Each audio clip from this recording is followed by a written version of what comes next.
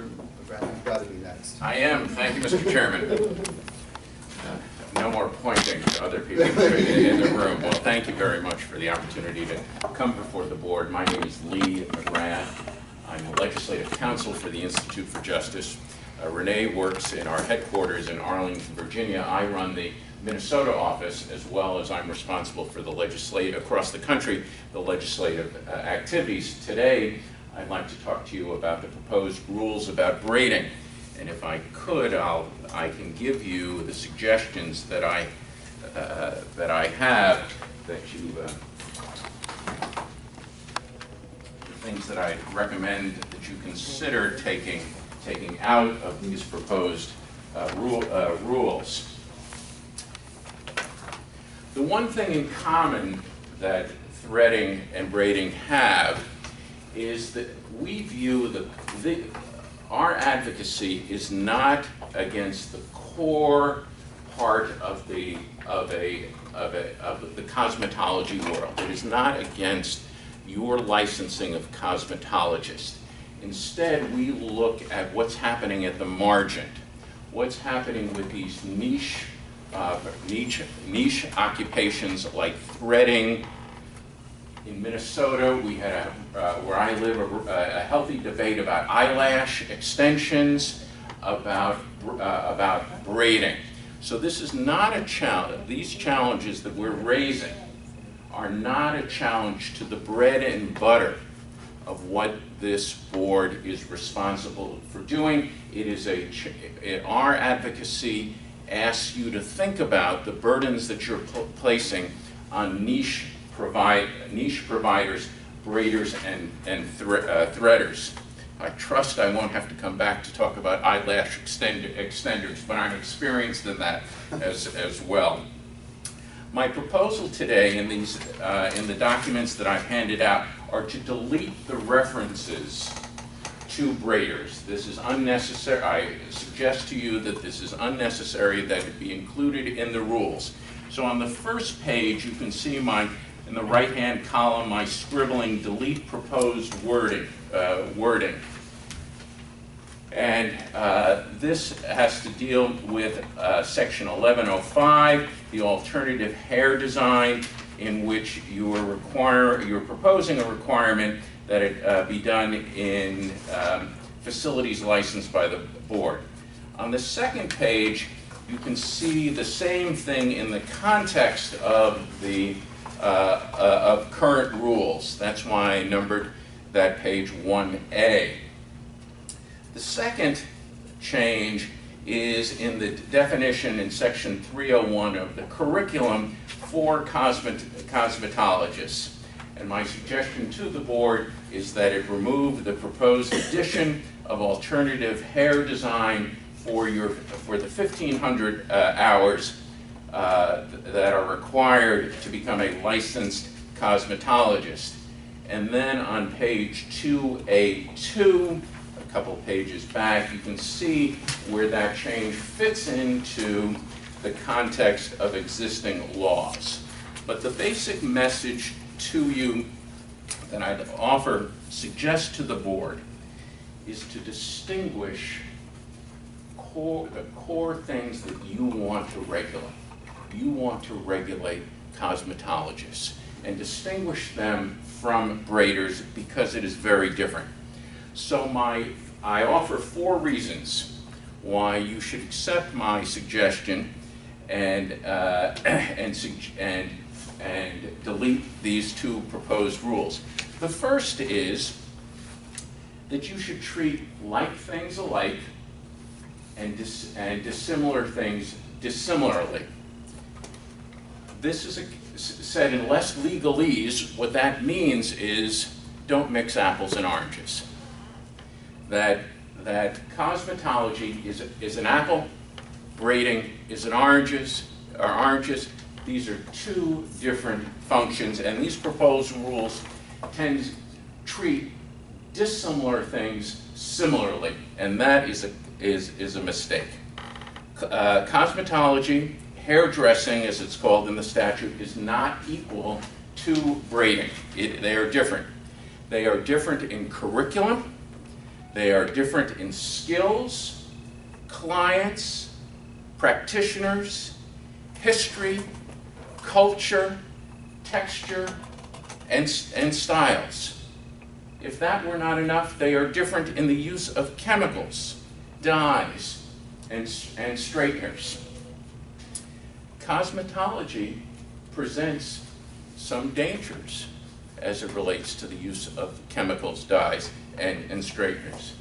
Braiding does not. Braiding is safe. And you, in fact, the, the legislators here in Louisiana, and you, on the, your predecessors on the board, recognize this difference. You call braiding alternative hair styling. You by the very, your own words, alternative. You are distinguishing braiding from hair, hair, hairstyling. Don't treat like things, don't treat dissimilar things similarly. Secondly, my second reason, this rule is unnecessary, and it is an unnecessary uh, necessary burden. I would be interested uh, to perhaps uh, uh, engage you in understanding what evidence you have found for the need for this rule. Um, because certainly it burdens the economics of a standalone braiding uh, salon. It puts costs on, on the, those salons by having to hire a, a manager to supervise the, the braiders. And I would submit that it burdens the very people who you want to support, the 45 or 47 uh, licensees, and it certainly burdens the many, many scores of, of braiders who are not part of your uh, uh, uh re regime, potentially putting them all out of, out of business or at least reducing the profitability of their organizations. It is also a cultural burden that you're, and besides economics, it is also a cultural one in that the managers may not likely know what hair braiding uh, is. They may not know the uh, what uh, any health and safety issues, and I respectfully submit that it is culturally condescending.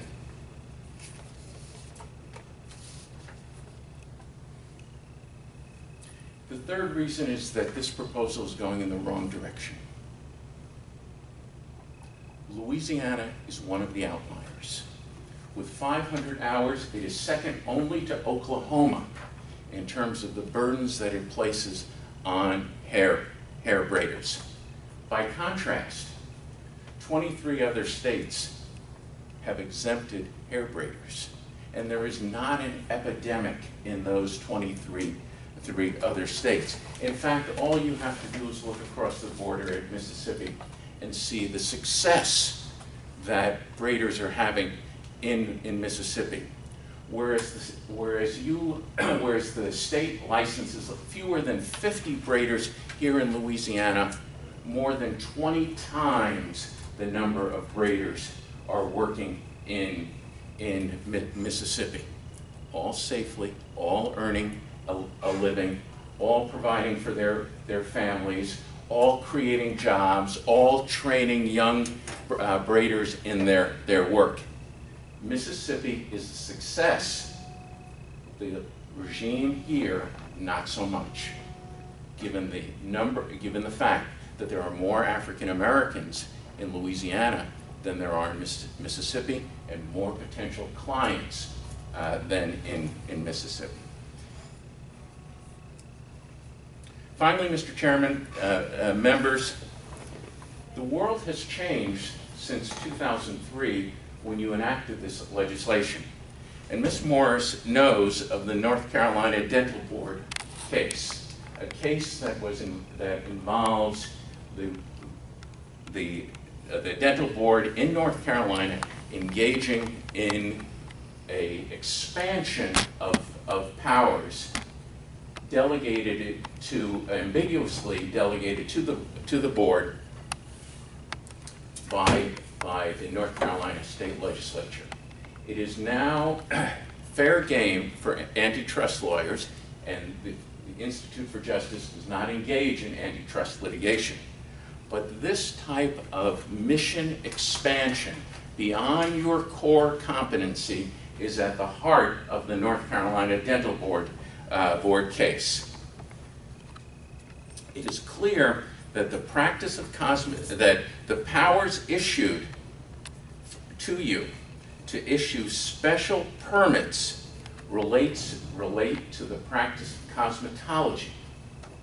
And cosmetology relates to the practice of hairdressing, but it doesn't relate to the practice of, of braiding. So I submit the legitimacy to continue to regulate hair braiders should be a, something of your concern, given the, the landmark case of North Carolina Dental Board versus the Federal Trade Commission.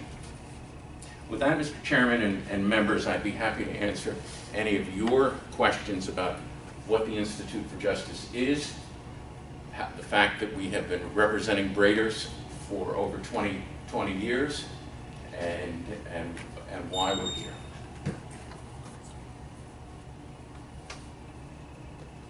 Any questions? I, I, one, I'm curious about one thing you Yes, sir. mentioned. The dentistry case, and I'm not familiar with Right. it. What, what, what did they, what did the dental board start to regulate? So the dental board was made up of dentists. They may have one, had one public member, and they chose to, to regulate teeth whiteners. So there were approximately 50 teeth whiteners at the margin of the, at the margin, this is, a- the similarities are, in my eyes, are clear that you have an occupation at the margin of the practice, practice act. The dental board did not receive any complaints from customers. It received, the North Carolina Dental Board received complaints from other dentists because the, uh, the teeth whiteners went in to the malls, opened kiosks, and helped uh, customers apply the teeth whitening them, themselves. They used, they used over-the-counter uh, teeth white, so it was perfectly safe. And it wasn't some crazy libertarian, uh, libertarian public interest uh, law firm out of Washington DC. It was the Federal Trade Commission that raised this case about the scope of power that the North Carolina Dental Board uh, case uh, had, and uh, the and the decision by the Supreme, I can go on, but stop me. All right, the decision by the United States Supreme Court was that the board members themselves in North Carolina uh, were personally exposed to damages. One more question. Um, Yes. Do you know, and I know you're not a cosmetologist or a braider, you're an attorney, but, um, do you know if braiders ever use scissors in the course of doing their work? I do. They do. They trim, they trim the ends uh, of, uh, of, of the hair that they, they do. And so the definition uh, that was put before the legislature last year uh, allowed for the use of scissors as an incidental part of braiding. So, so then are you saying then that trimming is not a part of hairdressing or cosmetology? Is that what you're, is that what you're? No, I'm saying that braid, that it is only incidental to, to, to braiding. I respect that the trimming is the the core, the core. The, the differences are that the core of, of hairdressing, uh, cosmetology, is the cutting of, cutting of hair, whereas it is only incidental to, to braiding.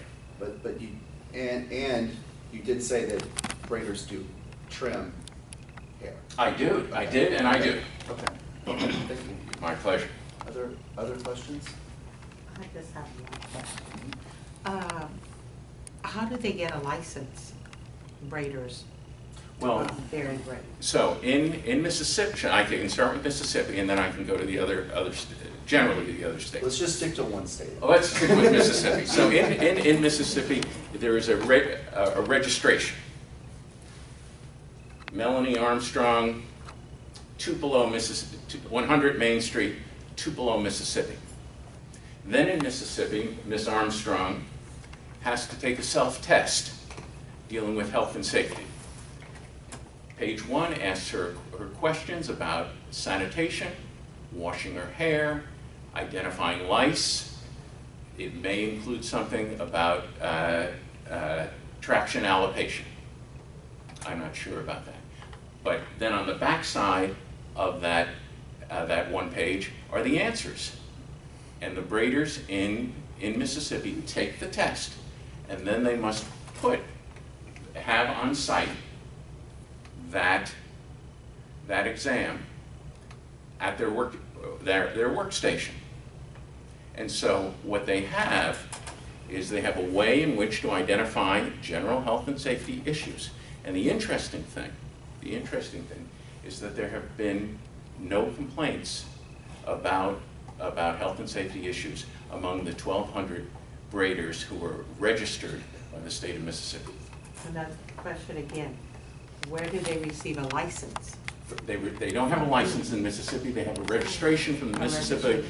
Mississippi Board of Cosmetology, which. So they're getting it from the Cosmetology Board of Mississippi? That's right. Now, in other states, last year, uh, just to mention three, uh, uh, Indiana, New Hampshire, and South Dakota exempted completely braiders from their cosmetology uh, uh, statutes. And so there, they, there is, uh, there is no license, there is no re- re- registration. So there, and of the 24 states, more of them look like those three than they do from, than uh, Missis- Mississippi, which has the simple registration and self, self-test. Did that, did I answer your question? Yes, Thank you, Mr. Rivera. My pleasure, thank you very much.